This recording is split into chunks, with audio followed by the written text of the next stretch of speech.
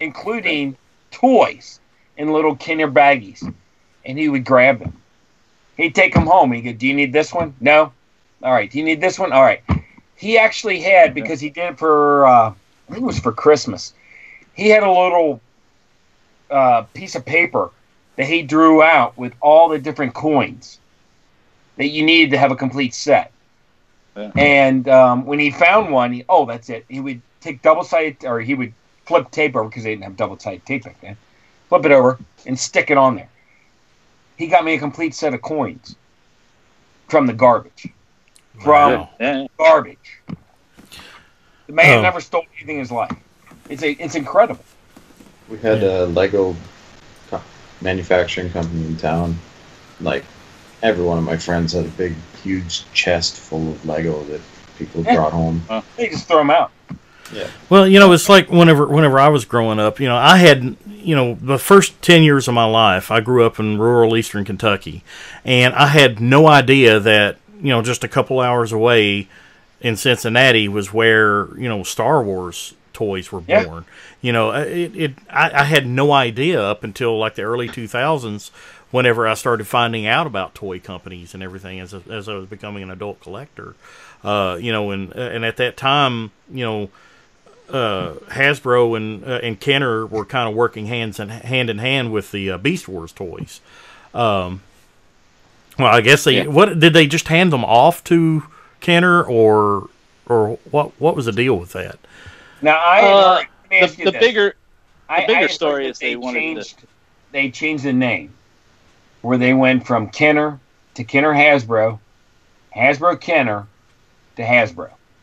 Is that they true? they just they wanted to um I don't know about the technical answer to that part, but when the Rhode Island office, who also had what we called then boys' toys, they were doing GI Joe, Tonka, a few different things, Conan, I think the Stargate stuff.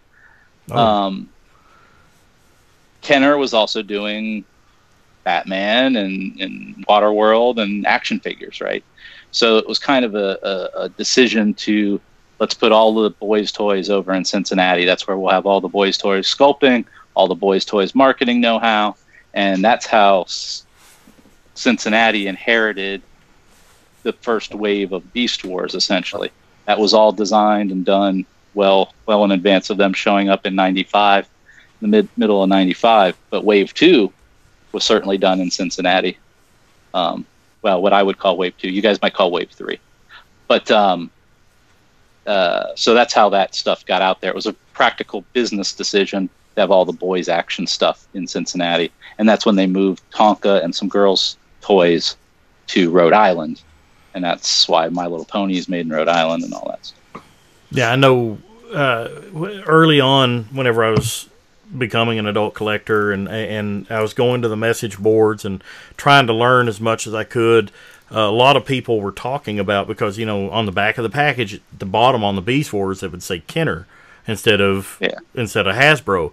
And I know Right. a lot of the discussion back then is like, well, after uh, Generation Two kind of flopped and uh, and Transformers kind of kind of went away for like a almost a year, year and a half.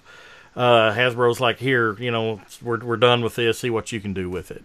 Uh, I- I- Yeah, well, the, the the buyers were done with it too, and it was kind of uh, let's just let's see what we can do with it. you know. reinvigorate it. So Yeah. it- yeah, it was really, and so it didn't matter. It was like uh, we're reinvigorating it, we're changing it to beasts, and let's let some new guys have it because we've tried everything. You know, the English, the England team had had had some of the G two stuff at the end. Um, you know, had been around Hasbro Transformers, had been kicked around a bit, uh, but, but Beast Wars worked out better than some of those other. kind of makes me wonder, though, you know, about you know, in conjunction with uh, uh, the toys that made us show, how much of that will be talked about on the on the on the on the show whenever it airs. Uh, I don't know. I talked a lot. I mean, I spent most of my time talking about the philosophy, which you guys have probably heard a billion times from me at different botcons and things about how you know what they represented, and you know, I think I think the movie component may be a bigger bit than than we might know. Um, just how did that come about? Because outside of, well, outside of anything, that's probably the biggest movie that came from a toy brand, right? Not a not a movie that sold a lot of toys. Um, so I think that flip might be part of what they talk about. But I don't know. I don't know if they'll be able to get to the detail that you guys would find something super new. You're going to find new an- anecdotes and stories, Well, but maybe not be. Yeah, that that could be interesting because that stuff is amazing. I mean, uh, back then those models were made out of wood, you know. Um, Oh, I wish he could have. Well, and they he- were saw I saw a two up uh Piranacon, you know, what's that guy's head, the big guy's head. Yeah. Um, you know, it's Snaptrap. this, it's this big. It's like a softball made of wood, and that's the combiner head. And it was just cool as cool. I mean, and you that, know, you don't that's got stuff- like one of the coolest designs too of all the combiner heads. The like the fins Yeah. out to the Or side. uh, Japanese influence. yeah, yeah, totally.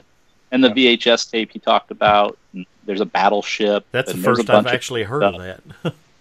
What's that? Yeah, so just like they made the mini tapes, um, and then Microman had like the normal cassette tapes, uh, they had a full scale VHS tape that you could put in a VH- VHS player, and it had the stickers on it and everything. It was really cool. oh wow. Um, What did it I, don't, I. I don't know why that didn't come out back in the day, but What the did model what did it was- transform into? uh, like a robot, just like just not unlike uh, Soundwave or, or Rumble, Yeah. you know, kind of that classic pull down the legs. But it actually had I've a- Seen, I've seen uh, early, early like a, a, a flashlight. Um, there was some other stuff that just you know because back then it was micro uh, micro change, which was ordinary things changing. But I'd never seen that uh, uh, VHS cassette. That's and, kind and a lot of this stuff comes from the uh, Microman era, Right. Transformers. So oh, some there of you the are. and you know in different colors and, and all of that. Uh, Sure. Well, I always thought that was no neat longer too. staring into my soul. some stuff and change the, the color.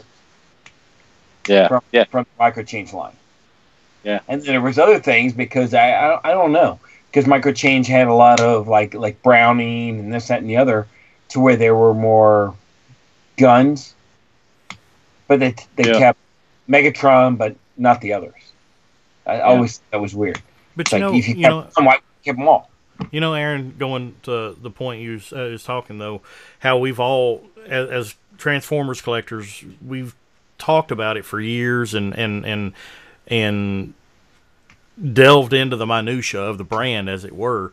But something about this uh, this uh, uh, this this show coming up, I'm I'm really excited about it. You know, uh, just because it's going to show me things that I, I you know, like the uh, the the warehouse in, uh, at uh, Takara. You know, I've I've I've always wanted to see that. You know, as as an adult, you know, I've seen exterior pictures, you know, posted on on on the internet and everything. Uh, but you know, being on the internet for some what twenty year twenty past fifteen to twenty years, there's so much that we've talked about and and and so much information that's already been out there.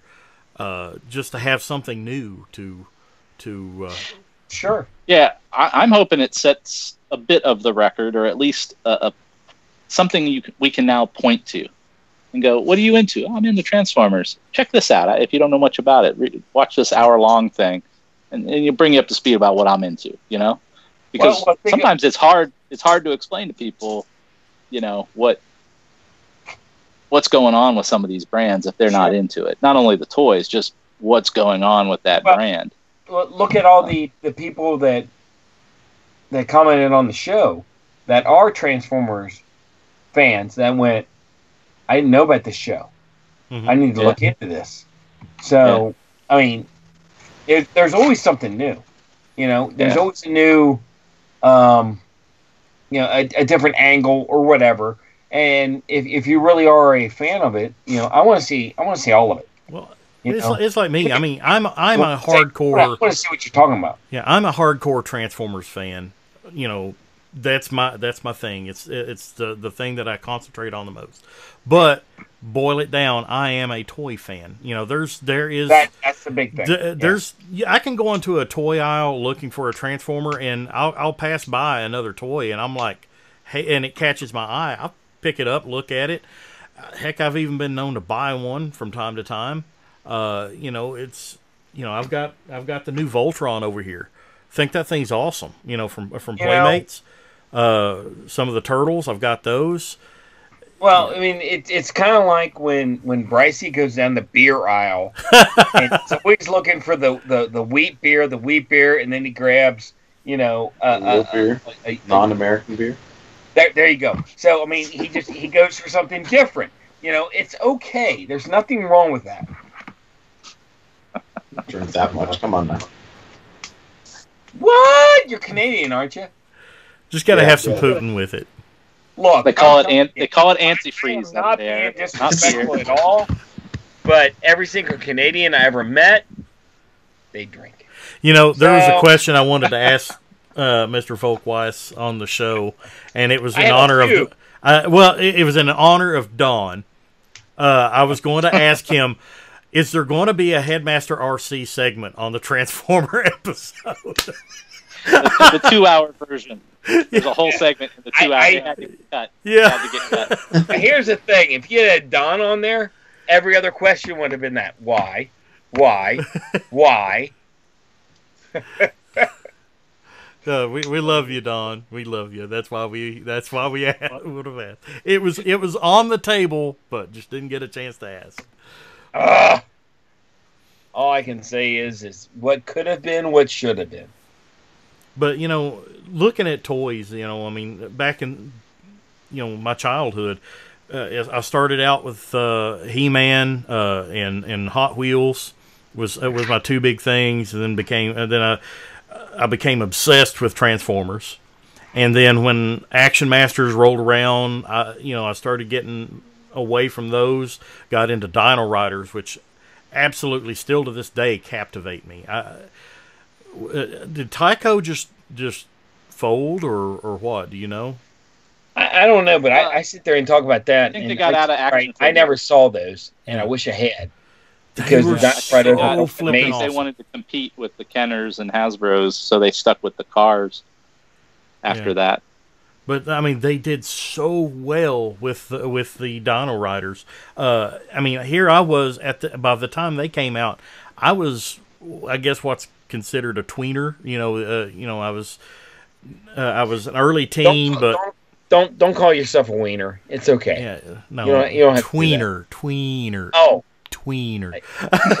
wiener for Yeah, some reason. Terrible, I, I know, I know you're obsessed with wieners, but uh, Uh, just the size of mine, but I mean that's beside the point. I mean, I don't know why you're saying that. Why? Why? why you just need that something that's Swedish made. Is all you need.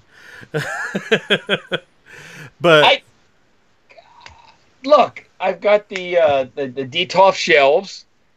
They're Swedish made, right? I mean, I got them. I got them over here too. What are you trying to say? but anyway, but you know the as as a in between, you know, uh, late uh, early uh, early teenager, you know, I was I was growing out of toys, but they were still interesting enough to captivate me. Dino Riders is one of those things that like. Uh, you know, I kept asking for every year for Christmas, uh, even up into my late, uh, into my mid teens. Um, you know, I remember a, being a junior for uh, for in high school, and my mom asking me, "Well, what what would you like for Christmas this year?" and and invariably on the list would be a Dino Rider. I want a Dino Rider. You know, I, I never did get that T Rex, and I never did get, get the Diplo, Diplodocus, but I got got the Triceratops, got the Torosaurus.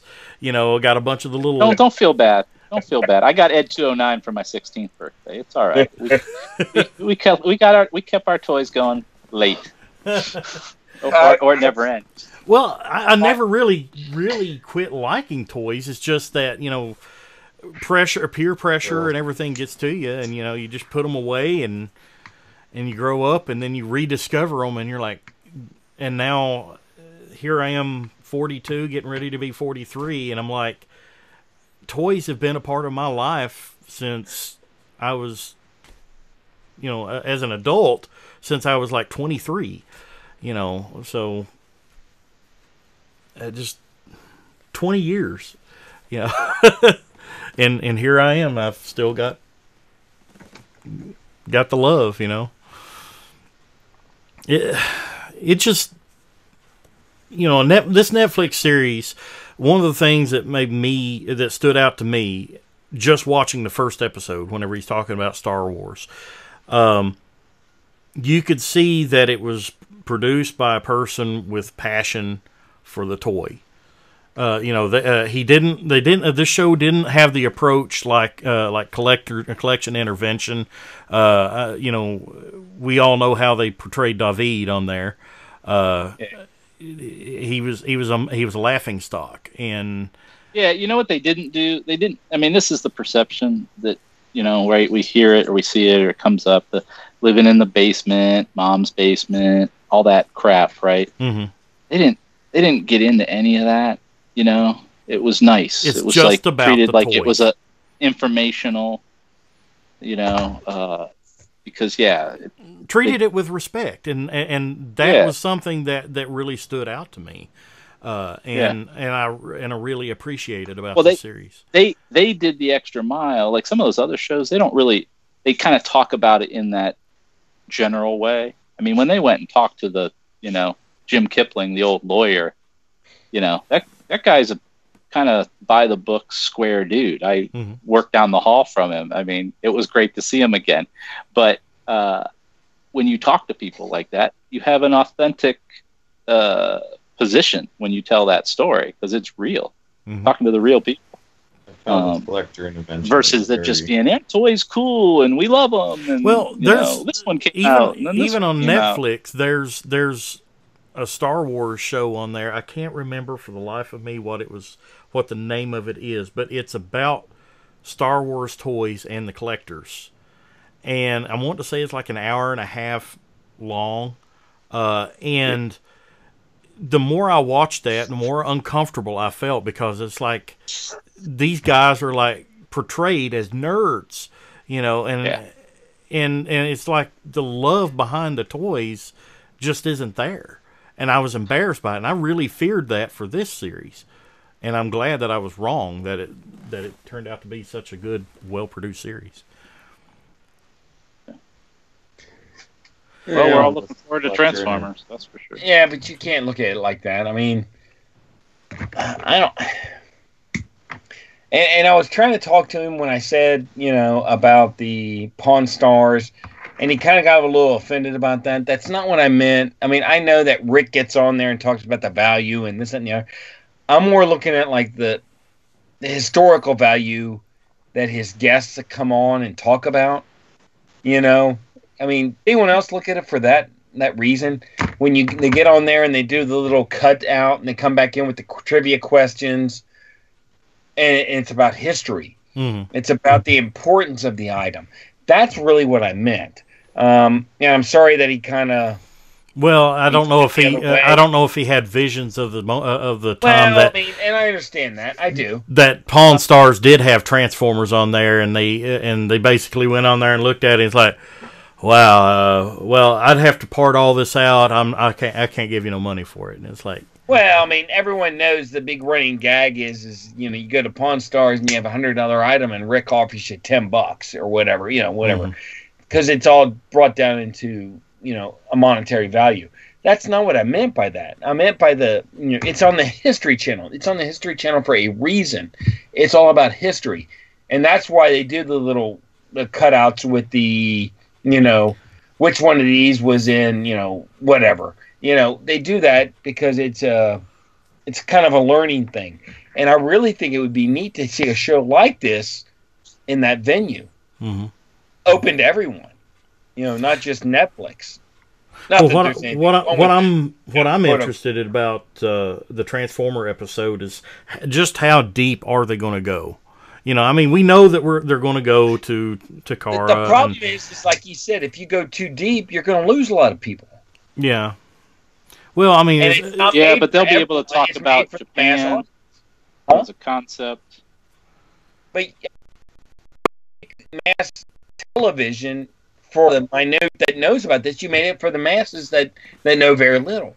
Yeah, you, unfortunately for you guys, you more have participated a lot longer and a lot I deeper. So it is always going to be hard to to surprise or tell you guys something you didn't didn't know. So I'm hoping the Japanese side of that is is interesting, and I, you know, I'm who knows what they'll say about the movie or who will even talk on the movie. Uh, that's not necessarily what you guys want, but maybe some answers could come. Uh, so I don't know. I don't know. Well, I, you know, it's like uh, Rick said before. You know, whenever he he was a fan and then went to work at Hasbro, and then he saw the way it is in Japan. You know, saw them being made, and he said the magic was gone. You know, me. oh, when you see them make the sausage, it is not pretty. And that yeah, you work at a toy company. You guys have engaged me at BotCons and stuff. You know, it's not. I I I could never participate at the same level. I almost can't participate in any collector thing at the same level because I made too much sausage over the years. Um, you know, everything it breaks down into price or variety or scale or or, or and you know, part of it because you head. know, you know, that's me. That, that's there, yeah, there's like I'm figures there's figures that you know that fans perceive as as less than the potential that they could have been uh, and you know what what the like the, like there was features that might have been cut because of budget or something that would have made that it- toy better I'd say we, we at times you more like you just work on a new idea and you'd have good hopes for it and it just it did work or it didn't work and you had to move on to the next thing. You know, it's just the minutia of those details kind of washes over like you know just Mhm. they toys come too fast to be dwelling on any details like that. But when things like uh, bot shots come out and you had a whole different set of ideas about what that could be and through the process it became something different and you're like, eh, you know, uh, that's a bummer because you don't, you guys don't see all the internal turns and twists and length of time some of the stuff sits out there uh, getting presented. Uh, you know, but you know whenever that's whenever that's that'd be an interesting story too. Following some projects that you know people don't know about and why they didn't, why you don't know about them yeah on Well, any toy line. There, there Yeah. was things like uh, that Rick told us about. Uh, there were some headmasters that he saw uh, the concept drawings for. You know that we had we had Weirdwolf, Skull Cruncher, and Mindwipe, uh, and then he said there was like a Stingray one that uh, that never saw the light of day. Uh, that he saw the concept drawings for that probably doesn't even exist anymore. But it's, it's like, Yeah. as as a fan, I would Well, find that always- absolutely fascinating. yeah there's always you always design and, and come up with a lot more ideas than you actually need you know um, you design eight oh we're going to do a wave of six. Okay. And then by the time you get back to the other things those two don't fit. Um, so all that uh, that stuff happens every every day every day. Um, so i wouldn't look at it like didn't make the line or got canceled. It just was one of the concepts that didn't get chosen. Yeah, but that happens a lot. Yeah. But you you, know, you, pit, you always you always pitch more than you you plan to make because somebody won't like you know you got too many villains or I don't like purple or you know we have too many jets or whatever whatever it is and you got to be well how about this guy you know ready to go push him back to later or something.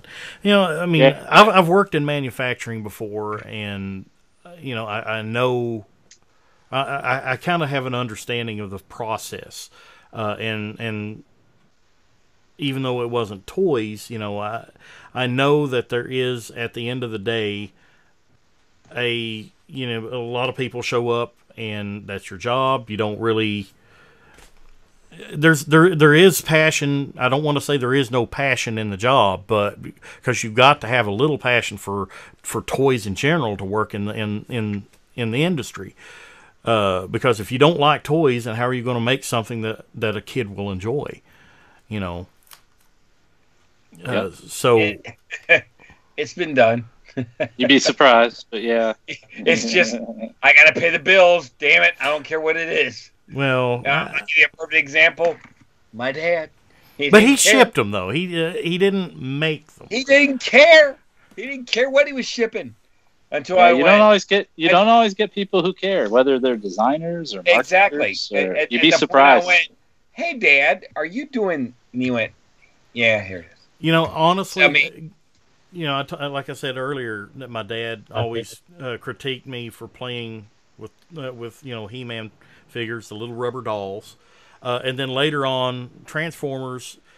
He accepted them a little bit more because they actually turned into cars and trucks, but he just didn't understand the concept. Why does that become a robot? You know, I don't understand that. Why, you know, but and then as I become an adult collector, he he just saw me as throwing my money away, and uh, the for the very first time, uh, my, I gave my mom and dad a copy of uh, of Rick's book that I uh, that I helped with, and my dad sat there and he started paging through the book and looking at it, and he's like, "So you take a lot of these pictures?" And I'm like, "Yeah."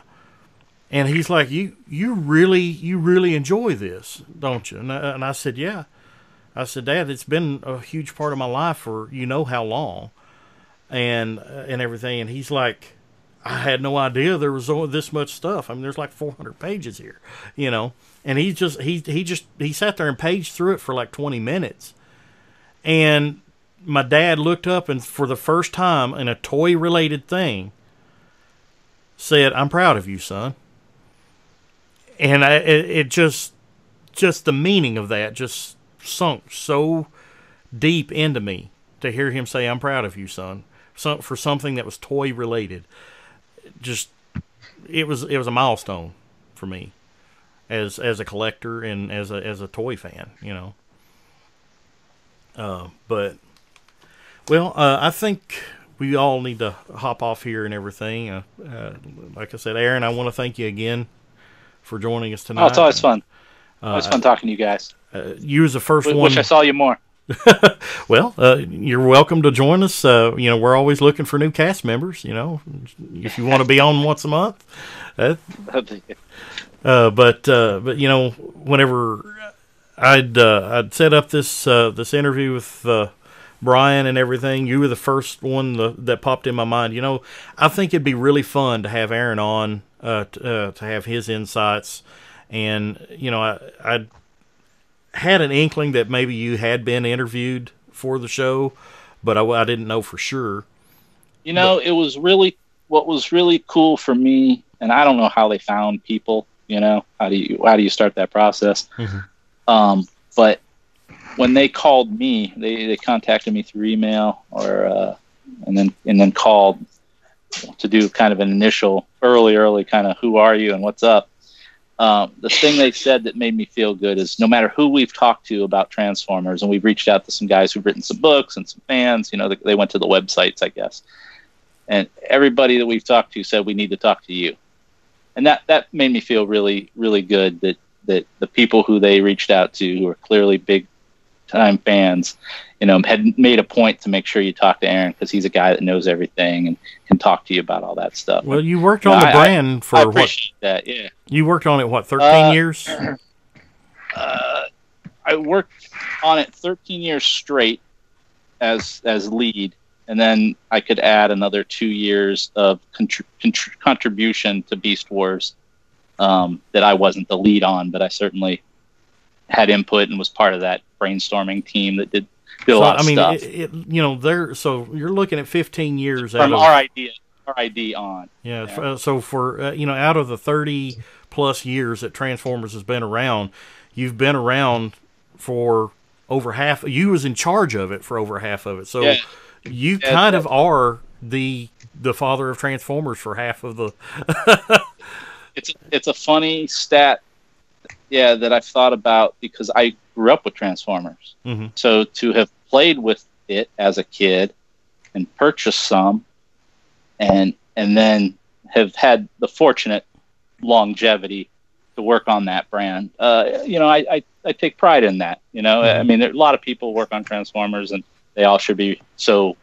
Uh, beloved, you know, and rewarded like I've been with the fans to talk and represent. But uh, yeah, uh, it is kind of funny, and, and I, I take pride in that. You know, we did a lot of things over those years, and uh, you know, uh, it, it was fun. You A know, lot of and, fun. and And we now- as we as fans and collectors, you know, we acknowledge that uh, your con- contribution to the brand. I mean, quite honestly, with without you and your team for for a number of years, we wouldn't have Transformers now. yeah, there You know, there been there would have been somebody. You know, we were there doing it the way we did it.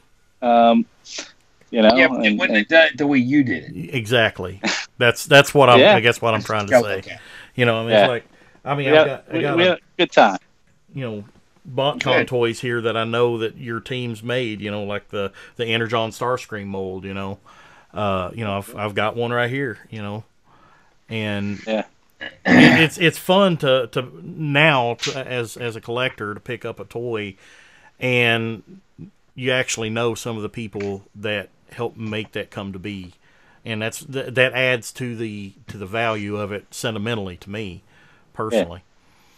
And for most creative people, outside of like uh, comic book artists, you know, you never meet the people, you know, that engage in your your your things. Mhm. Um, you know, so I, I just I I just enjoy going to the cons and talking to everybody. Everybody's awesome, and you know, so many different ways to be in part of this brand. Uh, that's fun for me to watch because I'm I'm like I like that part. I like how many different things Transformers is hmm depending on who you are and when you got into it. That's cool. Absolutely. You know, it's like, you know, Lexington Comic Con's coming up here in a month or two, and, you know, it's not specifically a Transformer show, even though I'm, I'm going to be there with Orson as, uh, as a dealer helper um, with Capture Prey. But, you know, whenever I think about all the guests that's going to be there, I'm like, oh, I've really got to meet them. You know, uh, Commander Riker from Star Trek The Next Generation is going to be there. Uh, Jonathan Frakes. I'm like, I am such a huge Trekkie. Whenever I found out he's going to be there, I'm like, you know, uh, be- I wanted to meet. They had uh, Brent Spiner and uh, um, uh, who else was there? Brent Spiner and Marina Sirtis last year or year before last, but their autograph prices were like crazy expensive, and it's like, okay, I'll Oh, have to see them from over there, you know. But just knowing that they're going to be there in the same roof, you know, at the same time, uh, that'll be cool. And Yeah. you know, Transformers is that rare uh, type of brand where it's big enough to be known worldwide, but it's also small enough to have a family community, in my opinion. If if that makes any Yeah. sense. Yeah. All right, guys. Uh, Aaron, thank you again, and we'll see y'all next time. All right. We'll Good see you night, everybody.